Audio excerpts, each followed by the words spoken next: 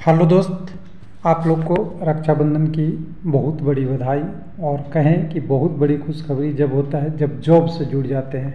रक्षाबंधन हम लोग साल में एक बार मिलाते हैं, लेकिन जॉब में अगर जुड़ जाते हैं तो हमारा साठ ईयर तक का बंधन होता है और इस बंधन को निभाने के लिए मेहनत करनी पड़ती है।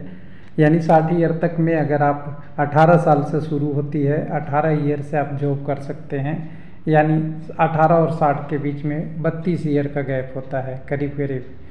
बत्तीस कहाँ, बयालीस ईयर का सॉरी मेरे गलती हो गया। बयालीस ईयर का गैप होता है। जो जितना जल्दी जॉब में जाएगा, वो ज़्यादा जॉब करेगा। यही एक बंधन है। कोई लोग बीस में चले जाते हैं, कोई बाईस में चले जाते हैं। अपना एक्सपीरियंस इक्कीस प्लस से है। कई लोग तेईस में भी जाते हैं, कोई लास्ट एज तीस और बत्तीस में भी जाते हैं, हालाँकि रेलवे का वैकेंसी प्रक्रिया दूर होता है। तो शॉर्ट में बताएँ कि अब वैकेंसी बढ़ेगा या नहीं बढ़ेगा? तो देखिए, मेरा तो अनुमान शुरू से रहा है वैकेंसी बढ़ेगा। असेसमेंट हो रहा था तो तो बढ़ना है। लेकिन कुछ लोग कहते हैं कि अब रोज़ रोज़ वीडियो नहीं आता। तो देखिए डेली वीडियो भी बहुत अच्छा नहीं लगता है कि डेली डेली सबको बताया जाए। पढ़ने वाला को डिस्टर्ब होते हैं, बहुत सारी चीज़ है।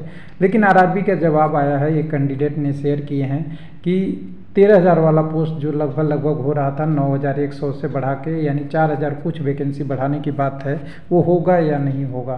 तो कुछ लोग कहते हैं कि आपने तो कह दिया हाँ होगा, या ना कह दिया, या हाँ ना दोनों बोल दिया।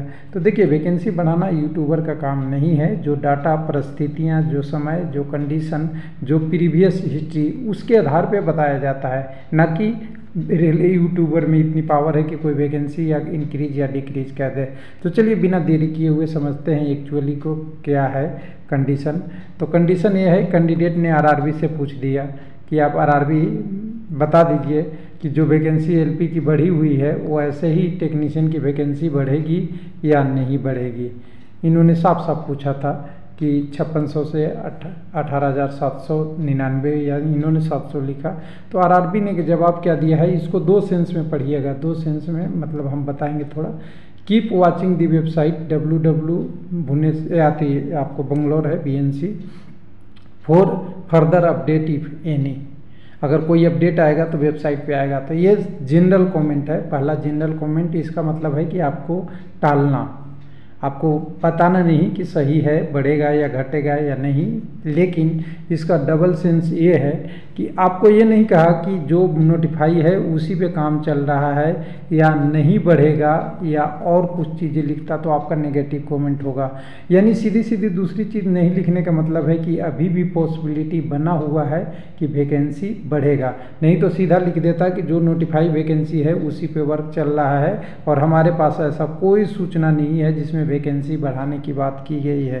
तो वो नेगेटिव कमेंट से आपको ये पॉजिटिव कमेंट है कि वेबसाइट देखते रहिए। जब हो जाएगा तो आपको वेबसाइट पे ही आएगा। यानी पॉजिटिव है वेट कीजिए, थोड़े दिनों तक हो सकता है आपकी वैकेंसी बढ़ के आए और उसकी कोरिजेंडम आपके लिए आए। और अभी एल का एग्ज़ाम नहीं हुआ टेक्नीशियन का एग्ज़ाम नहीं हुआ। थैंक यू धन्यवाद।